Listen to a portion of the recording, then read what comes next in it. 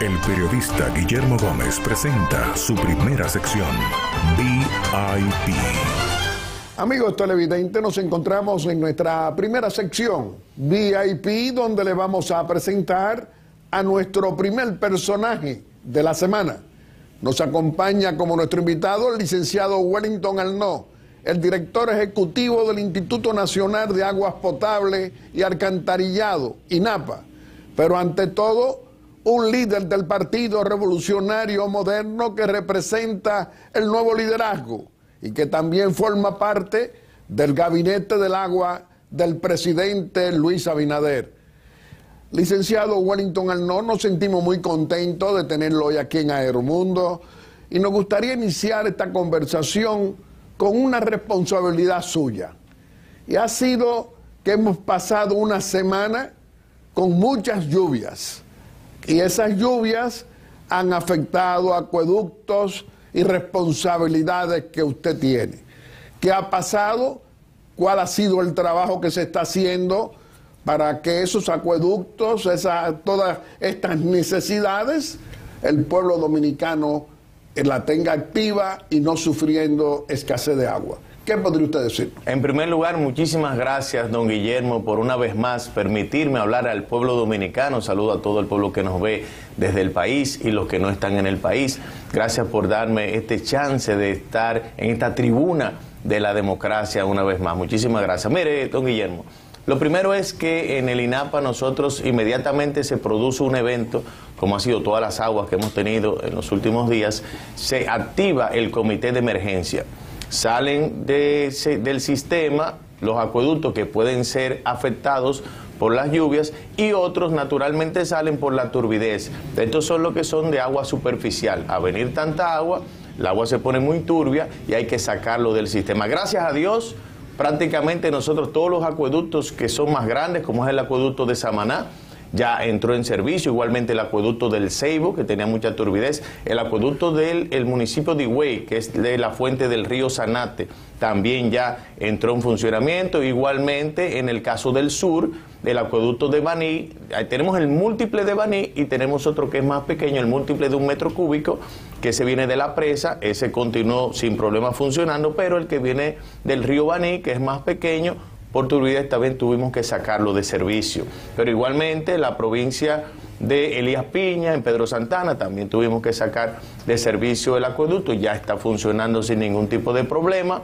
Y si nos vamos entonces al noreste, al este de la provincia de eh, Monte Plata, el acueducto de Peralvillo hubo que sacarlo, Yamasá, Guanuma, Los Botados, que es una planta de filtración lenta de la que nosotros rehabilitamos en esta gestión, también estaba fuera de servicio, pero ya, gracias a Dios, ha ido regularizándose el servicio porque actuamos a tiempo y esto es un, comité que funciona de manera automática porque hay un equipo permanente dando seguimiento para prevenir las cosas, don Guillermo, porque es fundamental estar atentos para que lo más pronto posible la población, que debo de señalar, la población se ha mantenido con una relación con la institución que cada vez que se avisa, la gente entiende que nosotros estamos haciendo el trabajo y que obviamente cuando hay muchas lluvias y esto sucede, el servicio se detiene y la gente acumula agua para que en estos días no tenga... Eso quiere decir, licenciado Wellington Arnott, que el pueblo dominicano de cada municipio y de cada provincia que usted señala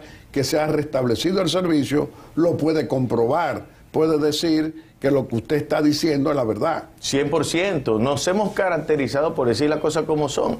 Así fue nuestro paso por el Congreso, una década en el Congreso y ahí están los hechos. Pero también es importante destacar que no solo las lluvias provocaron que los sistemas estuvieran fuera de servicio, sino que nos dio la oportunidad de probar otros trabajos que habíamos hecho.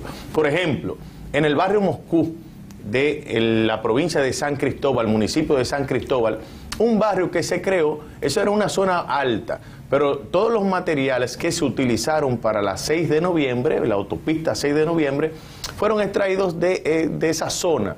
Luego de extraerlo, la gente se mudó y creó un barrio, el barrio Moscú, barrio Peña Gómez.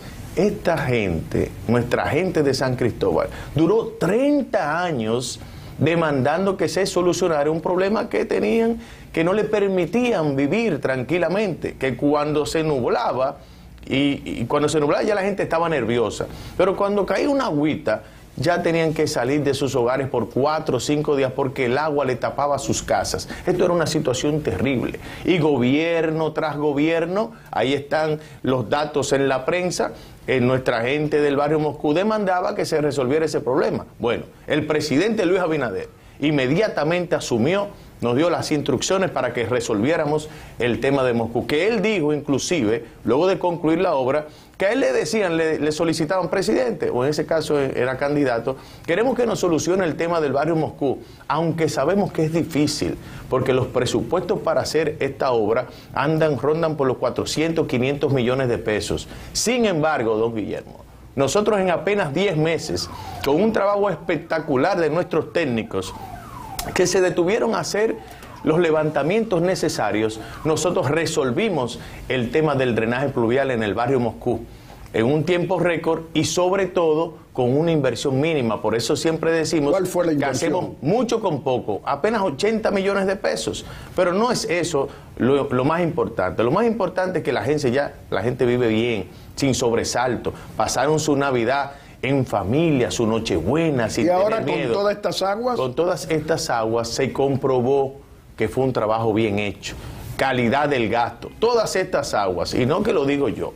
Yo invito a que ustedes vayan ahora al barrio Moscú y que le pregunten a la gente los testimonios de los ciudadanos, de nuestra gente de allá, del barrio Moscú, diciendo que con todas estas aguas no se acumuló nada. Eso llena a uno de satisfacción, porque uno ver uno tanto tiempo en la actividad política, dando discursos, que vamos a trabajar para mejorar la calidad de vida de la gente, y estar, tener la oportunidad, y debo resaltar, que si no fuera por el apoyo del presidente de la República, Luis Abinader, que ha tenido el coraje, porque no es que lo diga yo, pasaron 30 años y nadie lo resolvía. Así es. ¿Por qué? Porque esas tuberías, supuestamente esa inversión no se ve porque va debajo de la tierra, pero sí se sentía. Yo quiero que usted vaya allá al barrio Moscú, yo visité la casa de Mamota, bueno, por ejemplo. pero solamente eh, no es ese trabajo lo que usted está realizando. para concluir, porque es muy importante, y esto envía una señal muy clara, de que hay una voluntad de que independientemente que ese dinero supuestamente no se ve porque va debajo de la tierra, sí se siente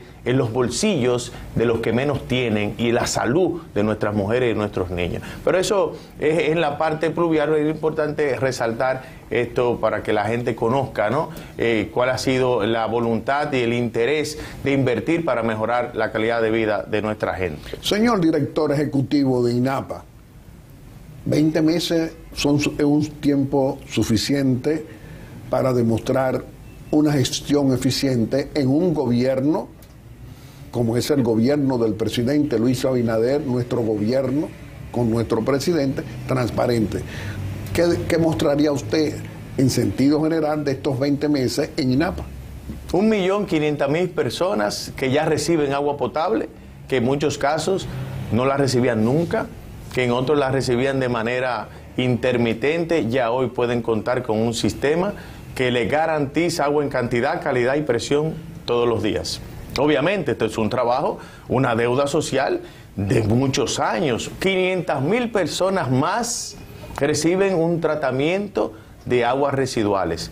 Esto sí es importante porque tiene que ver con la inversión, porque para usted hacer un acueducto, el presupuesto de un acueducto, si son 100 pesos para el acueducto, para el alcantarillado hablamos de 200, o sea, es el doble.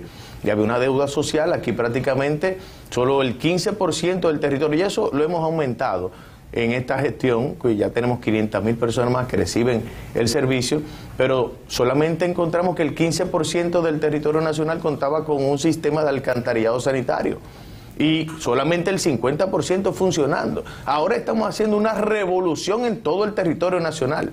Le puedo decir que estamos rehabilitando, si nos vamos al este, el alcantarillado sanitario de los municipios del Valle, del municipio de Sabana de la Mar y el municipio de Atomayor del Rey en paralelo lo estamos rehabilitando. Pero estamos saneando en estos momentos el río Ceibo, con el agravante que las aguas residuales vertían sin ningún tratamiento aguas arriba de la obra de toma del acueducto. Ya iniciamos el trabajo para recolectar todas estas aguas residuales que iban al río para llevarlas a una planta de tratamiento. Pero ahora mismo estamos también trabajando con el alcantarillado sanitario del municipio de Juan Dolio donde Juan Dolio, Juan Dolio Guayacanes, una primera etapa Juan Dolio, donde esta zona turística no tenía el alcantarillado para, para canalizar las aguas a una planta de tratamiento que estamos poniendo a funcionar. Pero también el municipio de Baní, ya en los próximos días estaremos ya inaugurando una planta modelo de tratamiento de aguas residuales. Que no existía. No, existía una fuera de servicio por más de 20 años donde allí ahora, después que inauguremos la, la, planta nueva que estamos haciendo, que es modelo, que la gente de Baní, hace poco fui allá, como estaba a las afueras de Baní, la gente no sabía lo que estábamos haciendo. Y cuando hicimos un video de una visita de supervisión que hicimos, la gente se sorprendió de la tremenda obra que estamos haciendo. Y cuando ellos vean con qué dinero se hizo, es que se van a sorprender. Porque este gobierno se está ocupando de que cada peso se invierta bien. Por eso estamos haciendo tantas cosas. Pero al mismo tiempo, iniciamos los trabajos ya del saneamiento del arroyo Gurabo. Una demanda de décadas, tanto de la Asociación para el Desarrollo de Santiago como todas estas comunidades de nuestra gente más humilde, más de Por 14 muchos años, barrios, por muchos donde años. esta gente vive en una vulne- vulne- vulnerabilidad que eh, con cualquier evento están expuestos a que sus casas se la lleve una crecida del arroyo. Ahora mismo ya iniciamos los trabajos donde vamos a trasladar a más de 1.200 familias que están a la orilla del río y donde esto va a quedar en una situación donde vamos a tener un parque, anfiteatro, ciclovía, canchas deportivas. Vamos a tener un espacio de recreación para nuestra gente. Vamos a convertir este foco de contaminación en espacio para que la gente pueda ¿Y con qué divertirse. inversión? Una inversión de 1.300 millones de pesos en el saneamiento y el Ministerio de Vivienda y Edificaciones en paralelo que tuvimos por allá esta semana El ingeniero Carlos Bonilla. que está haciendo un excelente trabajo. Así ya es. inició los inició ya se está haciendo todo el movimiento de tierra para que en paralelo se construyan 1200 apartamentos, que eso va viento en popa y a toda vela. Estamos entonces hablando de un ejercicio de eficiencia en INAPA, como lo manda el presidente constitucional Luis Abinader. De eso se trata. De eso se trata. Cuando la cabeza envía la señal y va bien, trabajando 17 horas, tomando en cuenta siempre, porque siempre lo ha dicho, el presidente le da seguimiento permanente. Por ejemplo, nosotros tenemos el gabinete de agua y construcción que se reúne cada martes y el presidente lo preside, de manera que le da seguimiento y conoce todo el detalle de las obras que yo estoy narrando aquí, porque también lo conocía de antes. Pero cada viernes también tenemos que enviarle un informe eh, por escrito, vía correo, para él darle seguimiento también. Pero un presidente que trabaja 17 horas, que ha puesto la transparencia por encima de todo. Él ha dicho siempre, para rapidez, transparencia. Vamos a hacer las cosas bien. Y en eso es que nos hemos ocupado. Cuando la cabeza va así, entonces nosotros que somos el equipo de gobierno, también vamos trabajando bajo ese criterio. Los que trabajan con nosotros también lo hacen. Y eso, Eso entonces, entonces, refleja, el resultado positivo y eficiente de toda la administración. Entonces, licenciado Wellington no cada obra que usted hace hay una licitación en el medio. Correcto. Para nosotros hacer una obra, porque a veces la gente eh, se desespera. Por ejemplo, gracias a Dios hemos cumplido con nuestros cronogramas.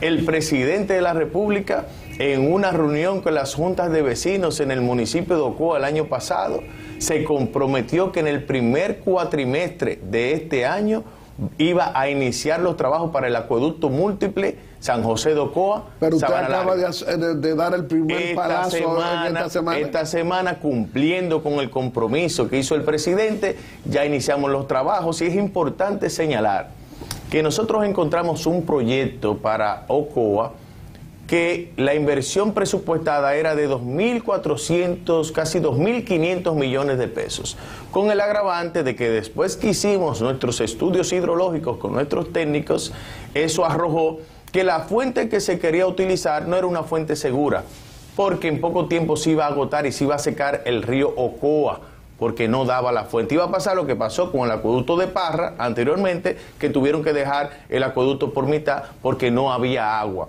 Que determinaron nuestros estudios que la fuente más idónea y que tenía la oportunidad no solo de llevar un acueducto a 20 años, sino que después de 20 años podemos duplicar la extracción de agua, era del río Nizao, de aguas subterráneas. Y sobre todo, que en vez de invertir 200, 2.400 millones, esta inversión que iniciamos en esta semana va a ser con 800 millones de pesos, o sea, la tercera parte de lo que se pensaba y con la garantía a largo plazo, porque estamos trabajando pensando en el futuro para que las futuras generaciones puedan tener un servicio de calidad y en eso no hemos ocupado. ¿Y qué satisfacción nos da? que en estos momentos ya se está trabajando con la solución tan demandada de nuestra gente de Ocoa. Y eso de verdad eh, quiero reiterar que este es un gobierno que está cumpliendo con su palabra, que está invirtiendo bien los recursos, porque lo que estamos haciendo, don Guillermo, no solamente es en Ocoa. Yo les voy a poner un ejemplo, que es importante que la gente de Jaina... Perdón, ¿qué tiempo va a tomar que los ocoeños puedan tener ese acueducto? En 15 meses, anote la fecha, estaremos inaugurando con la presencia del presidente el acueducto múltiple San José de Ocoa Sabana Larga.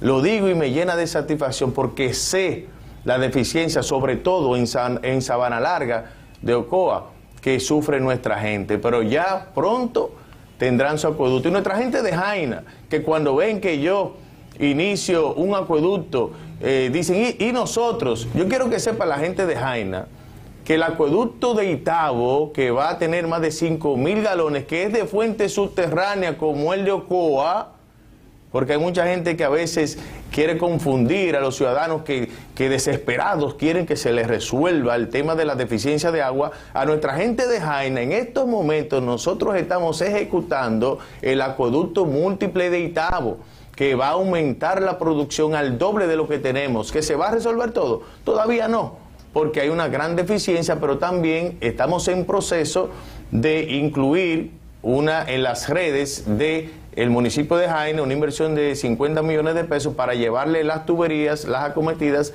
a aquellas familias que todavía no cuentan con un servicio eficiente de agua. Pero en Jaina, en estos momentos también estamos trabajando con la solución para que nuestra gente que ha sufrido tanto le llegue el agua. Señor director ejecutivo de INAPA, 20 meses, ¿cuál ha sido la inversión que ha hecho el presidente Luis Abinader, nuestro gobierno, apoyando INAPA? Tenemos en estos momentos 209 proyectos en ejecución, con una inversión o un presupuesto contratado de 13 mil millones de pesos, sin contar las fuentes externas, como es el caso de la provincia de Espaillat, que con un préstamo del Banco Mundial, en este año iniciaremos la solución definitiva, no solamente de agua potable, sino de saneamiento.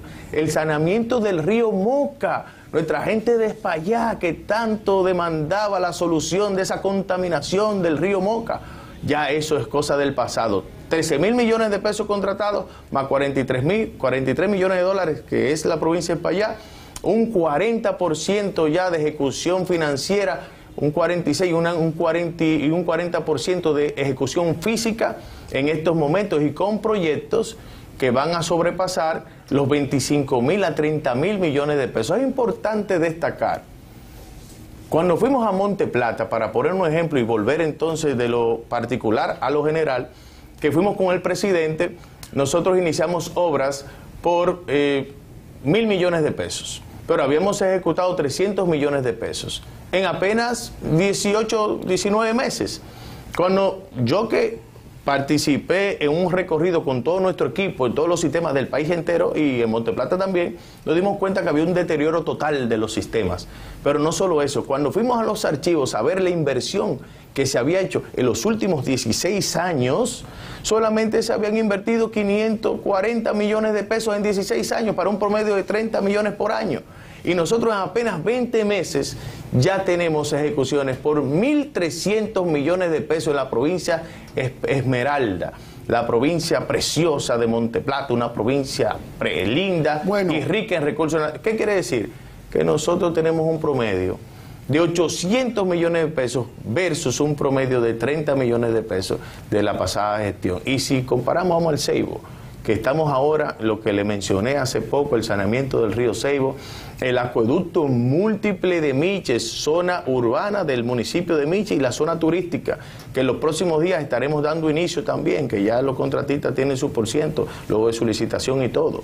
De manera que más de mil millones de pesos en Miche y 300 millones en redes Villaguerrero, Villaguerrero, Loma del Chivo, saneamiento del río Ceibo, más de mil millones de pesos en la provincia del Ceibo y los 16 años pasados solamente se invirtieron 200 para un promedio de 12 millones de pesos al año. Lo que estoy diciendo se puede comprobar. Este es un gobierno que está distribuyendo el presupuesto nacional en todo el territorio, de manera que el impacto positivo llegará a todos los dominicanos. Usted, licenciado Wellington no tiene que decirle al pueblo dominicano los controles financieros que tiene usted para cada obra, es decir, que con licitación y con toda esa programación usted realiza. Uno, tenemos eh, la Dirección de Supervisión y Fiscalización. Tenemos, tenemos la Dirección de Proyectos Especiales. Estas dos direcciones supervisan cada proyecto pero nosotros de manera permanente también lo supervisamos. Nuestra dirección de contra, eh, tenemos la, Contraloría en la institución, además que el INAPA se certificó tanto en ISO 9001 de calidad como en ISO 37001 antisoborno. El INAPA cuenta con un oficial de cumplimiento en INAPA, donde cualquier situación que un ciudadano pueda ver, directamente hay un teléfono directo, hay buzones que pueden denunciar lo que sea y eso ha dado resultados. Porque lo importante no es solo certificarte, certificarnos, porque lo hicimos con AENOR, una de las certificadoras más prestigiosas del mundo. De manera que ya lo que se hace allá sí o sí tiene que hacerse bajo los estándares de transparencia que demandan el mundo de hoy y el modelo de gestión eficiente, eficaz y sobre todo transparente que está implementando el presidente Luis Abinader y todo su equipo de gobierno, porque este pueblo anhelaba una gestión que la gente pudiera percibir que los fondos públicos se están invirtiendo bien, que se vea, que se sienta. Cuando la gente ya ve que nunca le llegaba agua y ya le llega.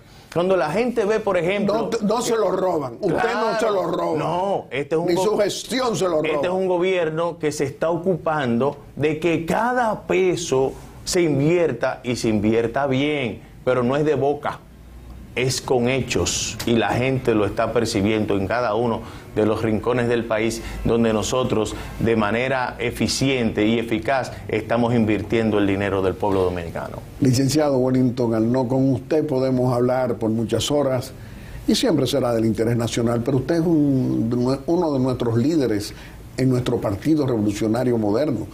Estamos abocados a una convención de dirigentes.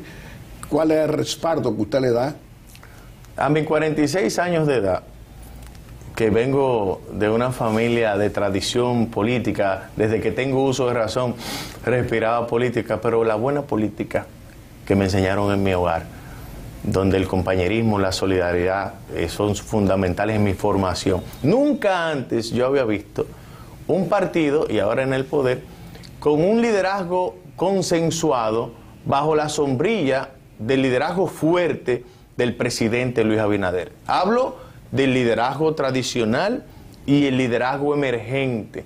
Todos eh, conscientes y unificados y empujando esta gestión que el pueblo dominicano ha tomado la decisión de que el presidente Luis Abinader, siga más allá del 24. Eso todo el mundo lo sabe, lo, siente. No, la, gente lo siente porque se ha dado cuenta que, el presidente es un hombre bueno, de buen corazón, que está buscando... Es un presidente honrado. Y que está buscando, cuando hay una situación, cuando un hombre no duerme, que de hecho debiera dormir un poquito más, es buscando la manera primero, de, que la, población no sienta, fíjate, un tema de pandemia, cómo nosotros encontramos el país con el agravante de esta situación de la inflación mundial. ¿Cuándo usted había visto los precios de los combustibles en Estados Unidos más caros que en la República Dominicana? Nunca, digamos usted que me lleva unos añitos, no mucho, pero lo había visto. Así es. Nunca lo había visto. Así es. Y el presidente ha podido buscar la vuelta. Vámonos voy para el partido, voy para el partido. Porque ya el tiempo se nos ha Pero quería mencionar por, la razón por la cual porque de afuera presiona hacia adentro. Y lo mismo de afuera, el partido y toda la dirigencia apoya tanto al presidente como a la dirección del partido. Nosotros estamos unificados, hay un consenso prácticamente con la dirección del partido, tanto José Ignacio Paliza como Carolina, que fueron actores fundamentales conjuntamente con toda la dirección ejecutiva y con toda la dirección nacional para el resultado positivo de las elecciones pasadas. Por lo tanto, el partido se tiene que ocupar de arreglar algunas cosas que obviamente son naturales, que siempre hay que mejorar en el modus operandi del partido el día a día y que la dirección pueda seguir avanzando y discutiendo los temas fundamentales de cara al futuro. Y por eso nosotros apoyamos firmemente a la dirección del partido y entiendo que el proceso que se avecina será un proceso que va a fortalecer nuestra organización que como la principal fuerza política de la República Dominicana está demostrando que el pueblo dominicano tomó la mejor decisión la mejor decisión de votar mayoritariamente por el PRM y para que el presidente Luis Abinader dirija los destinos del país como lo continuará más allá del 24. Y, y además lo que hace, fortaleciendo a nuestro Partido Revolucionario Moderno. Claro, apoyando al partido, 100%. Licenciado Wellington, no, se nos ha vencido el tiempo, pero vamos a permitirle que brevemente usted pueda despedirse de nuestro querido pueblo dominicano aquí en Aeromundo, haciendo una breve exhortación. Pueblo dominicano, estamos eh, en una situación compleja, sin embargo, tengan la fe, la confianza que este equipo de gobierno que encabeza el presidente Luis Abinader está trabajando día a día para que se sienta el impacto de una gestión de gobierno que se ocupa de que las inversiones vayan directamente a la gente y que eso se siente en su mejoría de la calidad de vida. Tengan esa confianza que aquí hay gente ocupándose de lo que el pueblo dominicano tanto anhelaba, una administración seria, honesta, que trabaja para ti, pueblo dominicano. Licenciado Wellington no nosotros le reconocemos ese trabajo responsable, que se puede tocar que lo puede comprobar en cada uno de nuestros municipios y provincias de la República lo que está haciendo INAPA.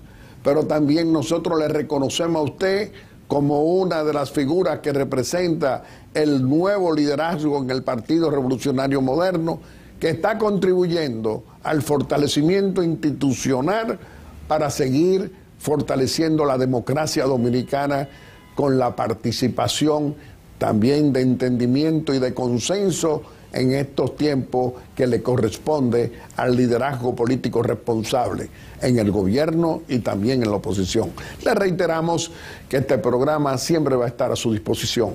Amigos televidentes, le hemos presentado nuestro primer personaje de la semana. Lo ha sido el licenciado Wellington Alnó, el director ejecutivo del Instituto Nacional de Aguas Potables y Alcantarillado INAPA. Y dentro de un momento le vamos a presentar a nuestro segundo personaje de la semana, que lo será el ministro de Economía, Planificación y Desarrollo, el doctor Miguel Seara Hatton. Aeromundo.